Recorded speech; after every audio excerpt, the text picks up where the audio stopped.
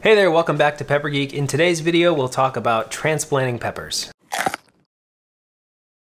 So what is transplanting? Transplanting is just the process of moving your plants into a new growing container. We typically do this twice in a year. This is the first round where these seedlings are going to be moving from their seed cells into their three and a half inch pots. Once the plants outgrow these containers, they'll be transplanted one more time into their final home. Before we get started, be sure to follow us on Instagram at PepperGeek. We post lots of behind the scenes pictures of cool pepper varieties and other things we have going on in the garden, so thanks for checking that out. So one question we get a lot is why not move seedlings directly into their final planting location like a big pot like this one?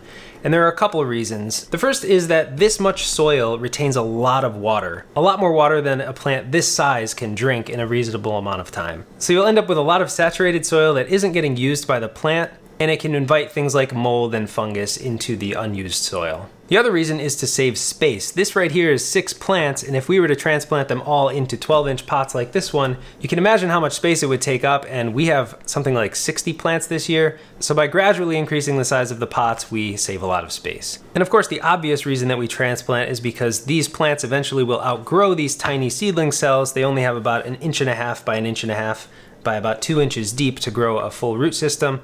Once that root system reaches the edges, we want to move into a larger container where the roots can continue to grow. So how do you know exactly when to transplant your seedlings? Around two to three weeks after your seedlings sprout, they should be ready to move out of their seed cells. We planted these guys three weeks ago and they're just about ready to transplant. They probably could go another week or so if you didn't have the time to do it, but we're gonna start them now. At the two to three week mark, your seedlings should be about two to three inches tall and they should have two to three sets of true leaves. And on the subject of true leaves, if you don't know what they are, the first set of leaves that emerge from the seed as the plant is sprouting, those are called cotyledons, and they look a lot different than true leaves, which come after the cotyledons. So again, two to three weeks, two to three inches tall, and two to three sets of true leaves. All of this will depend on the type of pepper variety as well as how much light they are getting. This is a perfect example right here. This is a Baccatum variety and it's about three inches tall. The one right next to it that was grown in the same conditions is about half the height, but they're both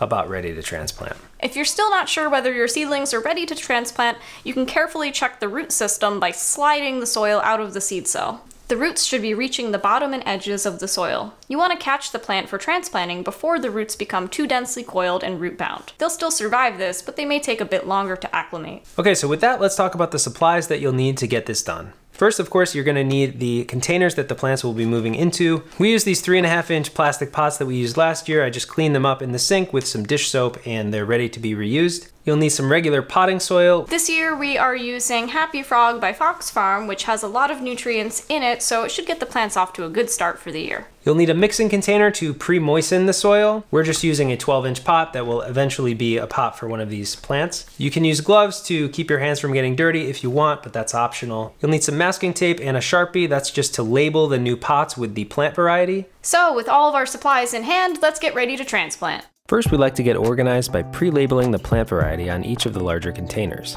You may not have 60 plants to deal with like us, but even just a few can easily become confused with one another. Fill a mixing container with enough soil to fill the larger pots. Next, pre-moisten the potting mix with water. Use filtered water if you have it because city water can contain chlorine and other chemicals. Add water slowly, mixing thoroughly as you go. The soil should stick together when squeezed but shouldn't drip any water. If it gets too wet, you can add additional dry soil and mix again.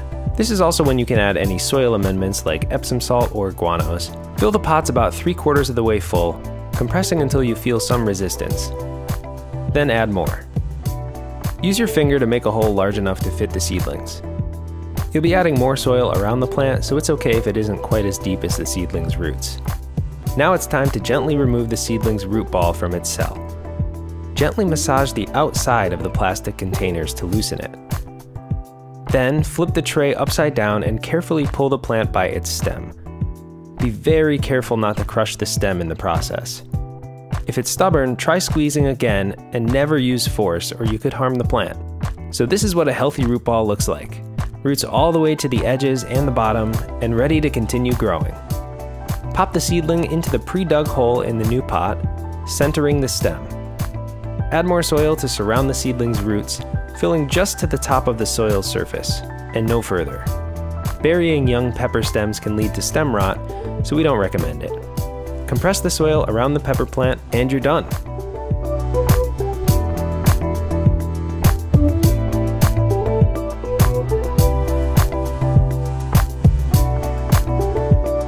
All that's left is a quick drink of water and to return the plants to their growing location. And that's it. Hopefully this video helped you learn about transplanting your pepper seedlings. If you have any questions or comments, be sure to leave them below. Thanks so much for watching, and we'll see you next time.